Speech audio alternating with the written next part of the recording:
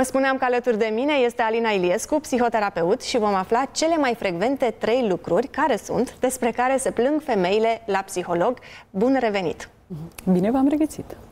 Uh, îmi place foarte mult subiectul acesta pentru că eu cred că în aceste prime trei lucruri sau cele mai frecvente trei lucruri uh, pentru care se plâng femeile la psiholog, uh, s-ar putea să ne regăsim fiecare.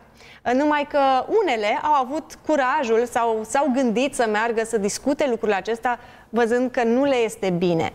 Uh, și vă întreb, există așa o melodie pe care o auziți uh, des la cabinet cu variații ale mesajelor, bineînțeles, și, dar în esență există un fundal? Există într-adevăr un fundal. Uh, prima dată aș vrea să povestim de ce ajungem noi femeile într-o anumită situație. Trebuie să înțelegem că noi femeile ținem echilibru emoțional al întregii familii.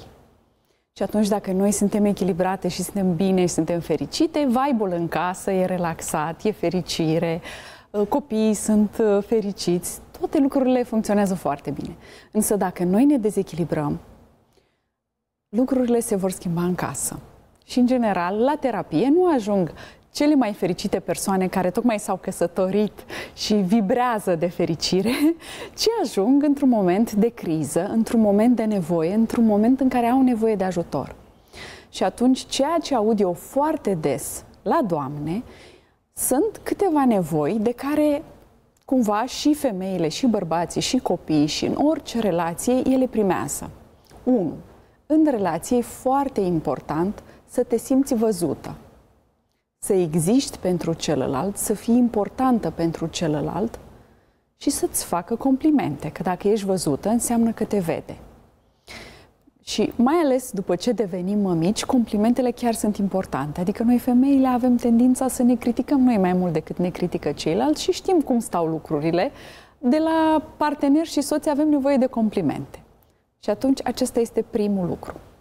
Vrei să întreb ceva? Mă gândeam uh, dacă cineva, care, o femeie care ne urmărește în momentul acesta și s-a gândit, încercând să identifice care ar fi cam primul lucru în topul lucrurilor pentru care femeile se plâng, dacă ar fi cumva chiar acesta, complimentele. Eu mă gândeam uh, că dacă suntem văzute, uh-huh. uh, posibil să fie asta. Uh, ne complimentează dacă ne văd, dacă sunt partenerii.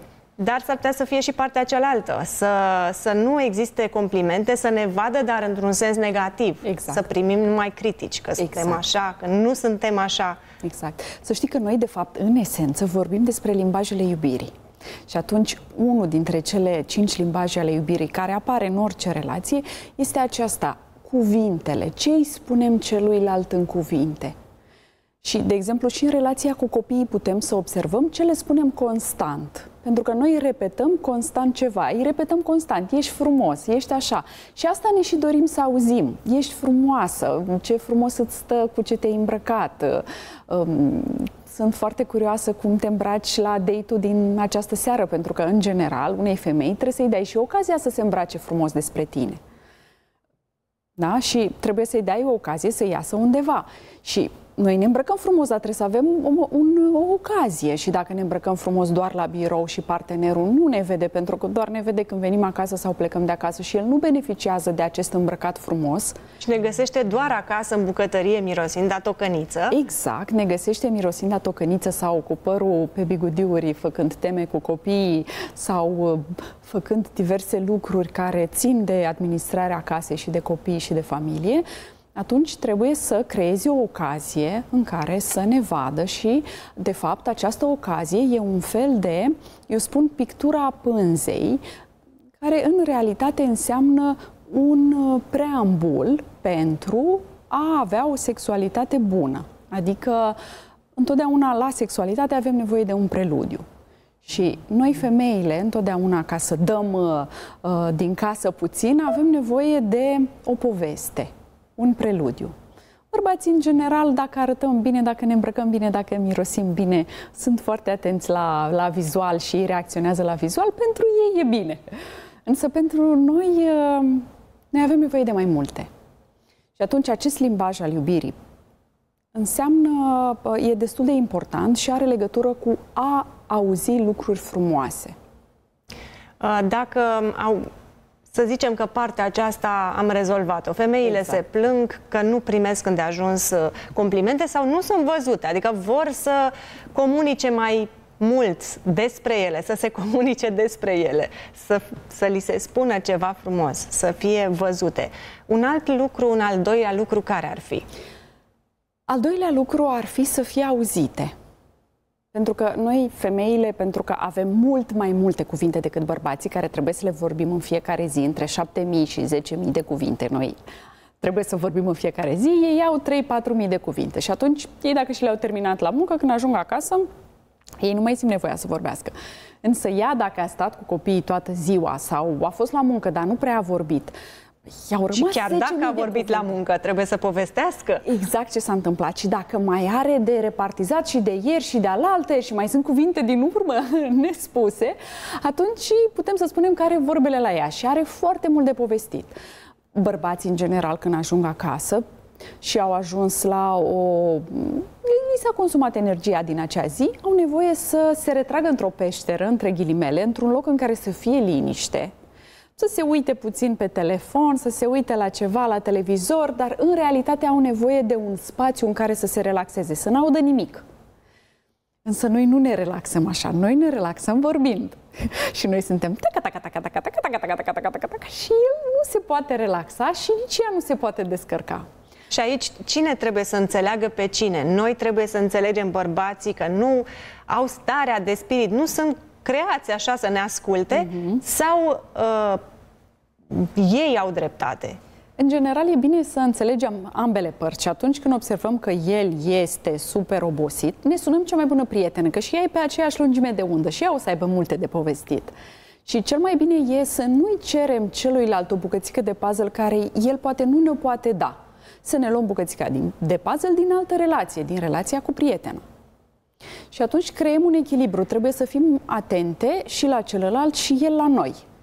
Și chiar dacă e foarte obosit, el poate să spună, draga mea, în seara asta sunt foarte obosit, dar te ascult să văd dacă te pot ajuta cu ceva. În plus, noi nu avem nevoie să fim ascultate ca să ni se dea o soluție, pentru că bărbații sunt orientați spre soluție. Și ei, dacă aud o problemă, ei imediat dau o soluție. Și de obicei, femeile se enervează pentru că ele nu vroiau și nu aveau nevoie de o soluție, ele doar vreau să fie ascultate. Da, ele își doresc să fie ascultate. Acum soluția asta cu prietena uh-huh. s-ar putea să funcționeze de minune. Însă dacă o femeie insistă că vrea neapărat să stea de vorbă cu soțul ei, e nevoie de o terapie de cuplu deja? Nu, trebuie să înțelegem că e posibil ca și uh, personalitatea noastră să difere și atunci unul să fie introvertit, celălalt extrovertit. Cei care sunt extrovertiți simt nevoia să vorbească și să povestească.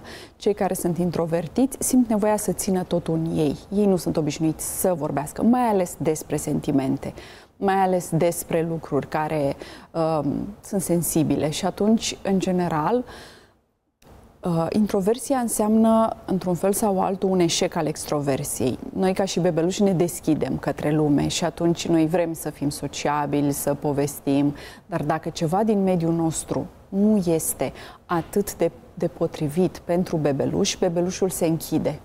Și trage concluzia că lumea nu e primitoare, că nu poate să aibă încredere în oameni, că nu poate să aibă încredere în el, că lumea exterioară e periculoasă, datorită mediului uh, copilăriei, traumelor și tot ce s-a întâmplat acolo, în spate, cumva. Și atunci trebuie să ne uităm și la celălalt. Celălalt e vorbăresc de fel? nu. Și atunci, de ce cer eu la infinit să se schimbe și să fie vorbăreț când el nu o să poată niciodată să facă asta? El poate să mă asculte, dar nu poate să vorbească. În plus, noi femeile stăm mult mai bine la a intra în contact cu emoțiile, la inteligența noastră emoțională. Pentru că am fost obișnuite milioane și milioane de ani să stăm împreună, să socializăm, așa studiam expresiile microfaciale, așa, așa ni s-a dezvoltat foarte mult acest centru al comunicării și atunci de asta nevoia noastră este să, să vorbim mult. Bărbații au fost obișnuiți milioane și milioane de ani să vâneze. Și atunci ei nu aveau de ce să vorbească între ei, că ei auzea prada. Și ei sunt mult mai liniștiți de fel și trebuie să respectăm acest lucru. Și trebuie uh, să găsim iar... un echilibru cumva. Iar aceste două probleme despre care am discutat până acum, faptul că nu suntem văzute și auzite, creează așa o mare tensiune în femei încât uh, vor să discute despre lucrurile acestea, par niște lucruri minore cu care ne putem descurca. Adică nu suntem, nu ne înșală, um, Cum vine acasă, aduce bani acasă, aduce nu bani te acasă, nu... și nu bea, deci e bun, ce e, probleme e ai? Atunci, de ce să ne plângem de asta? Uh, în, în cât timp poate să... Este, este o femeie care vine după un an de zile de căsnicie în care uh, se întâmplă lucrul acesta sau ținem în noi foarte multă vreme și abia când nu mai putem căutăm o soluție. Și cum se manifestă toată treaba aceasta? Ai foarte mare dreptate. În general, femeile au o capacitate de sacrificiu foarte mare. Tocmai uh, că apare acest instinct matern și uh, acest, această nevoie de a te sacrifica. Și atunci noi ținem în noi. Ținem, ținem, ținem, încercăm să rezolvăm singure, găsim tot felul de soluții. Însă când nu mai putem, pentru că apare depresia și ne dezechilibrăm și nu ne mai simțim confortabili și se creează un dezechilibru în casă. Și marea majoritate a femeilor, cele care sunt pasiv-agresive, plâng. Cele care sunt agresive activ, urlă, fac crize de furie. Și în momentul în care observi că plânge sau face crize de furie, înseamnă că ea a ajuns la o limită și nu mai poate. Și ăla e momentul în care cere ajutor. Pentru că e nevoie să vorbești despre ce ți se întâmplă, să descarci toate aceste lucruri și să înțelegi cum poți normaliza lucrurile în familia ta, pentru că undeva s-a creat un dezechilibru. Și de cele mai multe ori se creează un dezechilibru pentru că mamele au tendința să facă ele tot. Și ele nu dau din responsabilitate mai departe și copiilor și soțului și în momentul în care clachează încep să urle. Da, tu nu faci, da, copiii nu fac. Dar ca, ca un copil să facă, trebuie să-l înveți ani de zile și apoi el face. Trebuie să-i ceri. Și sunt niște etape pe care aceste etape se ard, dar așteptările sunt ca ceilalți să facă că ea nu mai poate, ea clachează. Și atunci trebuie să vedem ce soluții putem găsi, pentru că, de exemplu, sunt cupluri care vin în terapie, care, din cauza că sunt plecați în străinătate, au copii și nu au familie aproape și nu au la cine să apeleze, să vină prietenii, să stea cu copiii, s-au obișnuit să facă totul împreună cu copiii arată un astfel de cuplu? De fapt, e o familie contra cuplului. Între cuplu și familie trebuie să fie un echilibru. Însă, din păcate, în aceste situații, cuplu ocupă un loc foarte mic pentru că ei nu mai fac nimic împreună, ei nu mai investesc în relația de cuplu. De multe ori dorm fiecare cu câte un copil în pat, nu mai, relația sexuală nu mai există de, sau există de trei ori pe an. Și atunci se dezechilibrează pentru că relația sexuală aduce un echilibru, înseamnă 60-70% din relație. Și când îi întreb, voi când ați plecat ultima oară în cuplu, la un date, să mergeți la un film, să mergeți să dansați, să mergeți într-un club, să faceți lucruri pentru voi. A, păi de 5 ani n-am mai fost nicăieri. Păi, și uite, așa se ajunge aici. Pentru că noi, femeile, ne încărcăm bateriile din bucata noastră de feminitate. Nu din job, nu din partea de mamă, din bucata de feminitate. Și atunci ce facem noi pentru noi? Ne putem încărca bateriile și din relația de cuplu, dacă investim în ea. Dacă nu suntem văzute, ascultate, probabil, prin deducție logică, uh, gândim următorul lucru. Probabil că nici nu suntem iubite. E cumva al treilea lucru este de care se plâng femeile? Da.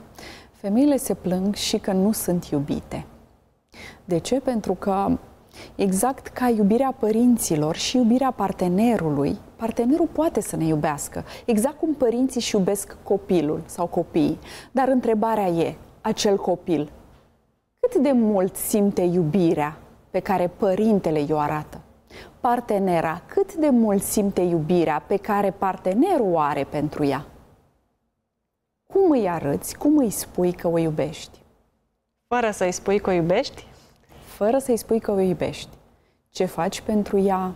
Pentru că cele mai mici lucruri îi demonstrează cumva celuilalt că mă gândesc la tine, sunt cu gândul la tine mi-e dor de tine. Și de multe ori aceste bilețele frumușele, te iubesc, um, mă gândesc la tine, mi-e dor de tine. Um, Ți-am lăsat ceva bun în frigider. lăsat ceva bun în frigider, asta e pentru tine.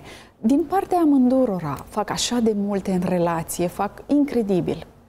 Și atunci e posibil ca celălalt să spună declarativ, dar eu te iubesc. Și partenera spune, dar eu nu simt asta. Eu nu simt că mă iubești. Pentru că mă critici, că poate că m-am îngrășat, că nu mai arăt la fel, că casa nu arată extraordinar, cu toate că am două joburi și copii teme și de aici se adună foarte multe lucruri.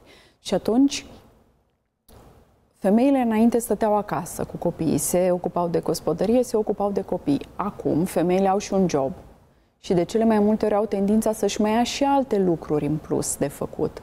Și cumva suntem într-un echilibru. El nu e obișnuit să vină acasă, să se dezbrace și să gătească. Sunt foarte rare aceste cazuri. Însă ea face acest lucru și ea face diverse lucruri în casă. Și întrebarea e, ea este apreciată pentru toate lucrurile care le face? Ea este văzută?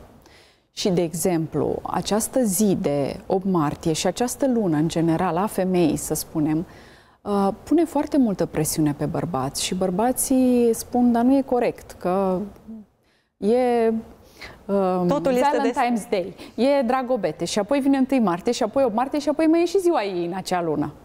Și e prea mult, adică totul e despre ea. Da, dar sunt anumite momente în an când trebuie să fie despre ea, pentru că ea aduce echilibru în casă. Și atunci, dacă e despre ea și investești în ea, ai să și culegi roadele la ceea ce ai investit.